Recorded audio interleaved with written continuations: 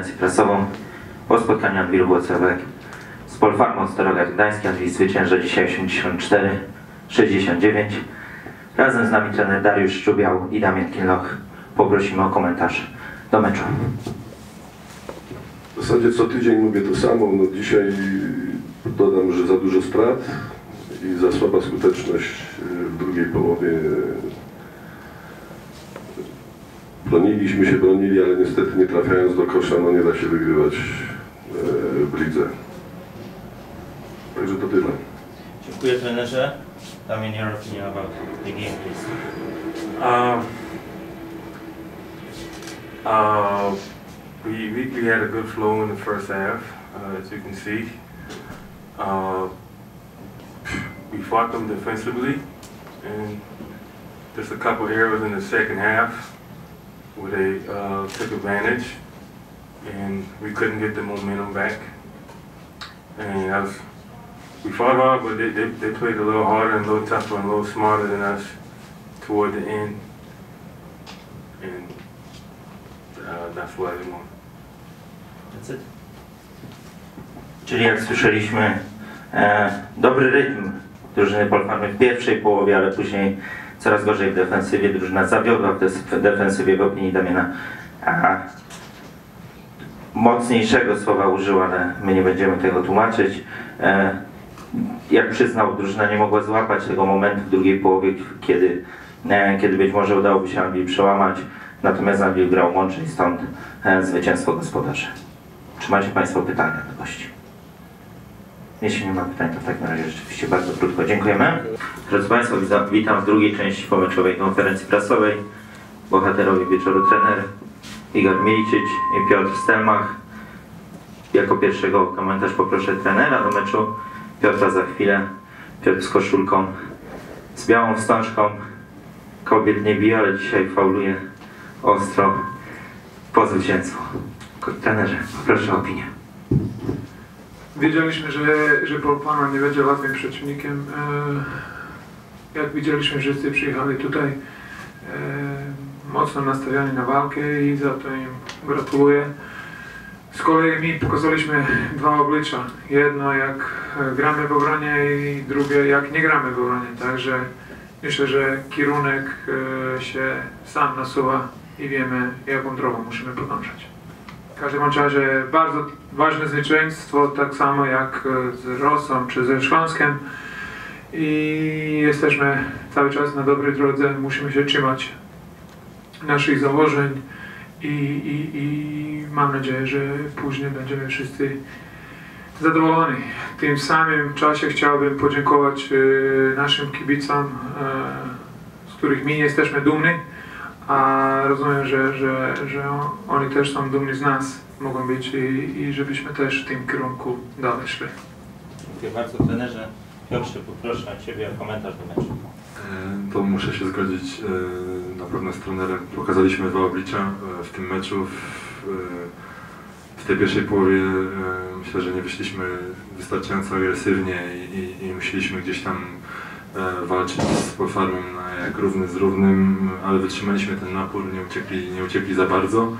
No i w drugiej, e, w drugiej połowie już było widać e, tą agresywność i tą e, koncentrację, szczególnie w obronie, gdzie widać, że nie rzucili za dużo punktów. No i to nam dało e, fajny rezultat. No i również e, tak samo jak trener muszę podziękować kibicom, gdyż e, no mówię, dzisiaj stworzyli też wspaniałą atmosferę na, na, na, na boisku i, i to nam też pomogło, szczególnie w drugiej połowie. I oby tak, oby tak dalej. Dziękuję. Dziękuję Piotrze. Czy Państwo macie pytania? To oblicze w pierwszej połowie, panie trenerze, to było wynikiem zmęczenia, bo to jednak trzecie spotkanie w ciągu 7 dni, czy z lekceważenia słabego, powiedzmy sobie szczerze, rywala, który zajmuje dalsze pozycje w tabeli. To, że zajmują dalsze pozycje, to nie znaczy, że są słabsi, bo mamy i Śląski Turów, które są gdzieś tam na końcu, a, a to są naprawdę mocne drużyny. E, na pewno nie lekceważenie. Po prostu e, parę rzeczy takich, które nie powinno się zdarzyć z naszych przygotowań taktycznych wyszły i parę, parę na pewno takich mm, rzutów, które nie powiedziałbym przypadkowych. E, Polfarma trafiła, grała na dużej skuteczności, specjalnie w drugiej kwarcie i tu nie podoliliśmy, ale kolejnym, e, kolejna, kolejną rzeczą, czy kolejny przypadek, gdzie jesteśmy w stanie po, po, po, po jakiejś tam gorszej fazie gry odbudować się i zacząć grać na, na, na poziomie, na jakim na stać. W przerwie były mocne słowa, czy po prostu taka analiza? Mm, Do obu panów wtedy. Po prostu powiedzieliśmy sobie, gdzie są nasze błędy i, i, i wiedzieliśmy, co musimy poprawić. Na pewno zawodnicy y, mocno podeszli z tymi, z tymi założeniami z, na drugą połowę i wykonali pracę, którą się, którą, którą się należało wykonać. Dodam trochę do, do tego pytania. Panie Piotrze, trener w przerwie był nerwowy w jakiś sposób, czy, czy, czy był spokój, jeśli chodzi o tej drugiej kwarcie? Jak Was motywował, jak mobilizował? Bo to już nie pierwszy mecz właśnie, o którym trener wspomniał, że jednak wychodzimy w drugiej połowie i gramy o wiele lepiej. Mm, Mówię, e, trener, e, trener podszedł do tego bardzo dobrze, e, zareagował w, w przerwie tak jak powinien i mówię, to podziałało i to jest najważniejsze, tak? Ocena gry Oguciego, który wrócił po przerwie? Na pewno on nie jest w 100% przygotowany, ale daje nam tą szerokość na boisku, którą e, widzieliśmy, że ma i mam nadzieję, że z każdym kolejnym treningiem będzie wracał do, do pełnej formy. Stefan Marchewski wszedł na 9 sekund, coś tam się stało, coś Pan wie, wie, co tam z tym Niestety przy, przy wykonanym rzucie spadł na nogę jednemu z zawodników Polfarmy i trochę podkręcił kostkę. Na ile poważnie zobaczymy. Są jeszcze jakieś pytania?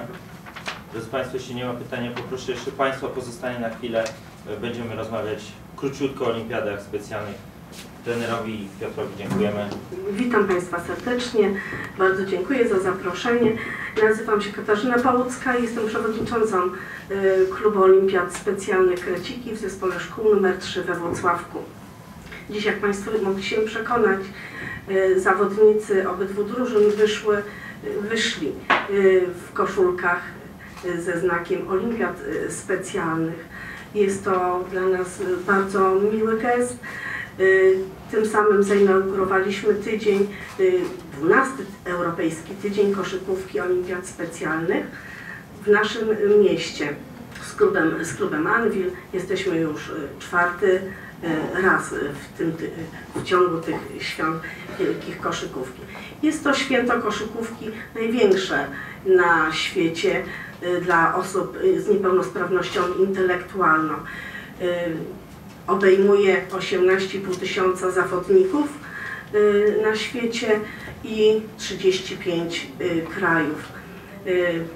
Patronatem objęły nas takie Międzynarodowa Federacja Koszykówki, Euroleague Basketball i w Polsce Europejski Tydzień Koszykówki wspiera Polski Związek Koszykówki i Tauron Basket y, Liga. Polski Ruch Olimpian Specjalnych honorowym patronatem objęła również małżonka y, prezydenta, pani Agata Duda. Przed każdym meczem właśnie zawodnicy y, drużyn występujących występują w koszulkach i prezentowani są również zawodnicy olimpiad, olimpiad y, specjalnych. Y, Dzięki tej akcji chcemy pokazać Polakom, że koszykówka i sport są bardzo ważne dla osób z niepełnosprawnością intelektualną. Rozwija nie tylko fizycznie, ale także uczy współpracy, rywalizacji, otwiera na świat i kontakty ze społeczeństwem. Olimpiady specjalne walczą z wykluczeniem społecznym i przyczyniają się do zrozumienia i akceptacji przez nasze społeczeństwo osób z niepełnosprawnością intelektualną. Tutaj chciałabym nadmienić, że- w naszym kraju żyje ponad półtora miliona osób z niepełnosprawnością intelektualną. Dziękuję bardzo. Jeśli ktoś ma Dziękuję. pytania, Jeśli ktoś ma pytania, jest okazja. Jeśli nie ma, to mamy nadzieję, że Państwo wspomnicie w swoich relacjach również o tej szczytnej inicjatywie o meczu chłopaków w przerwie. Dziękujemy bardzo za obecność.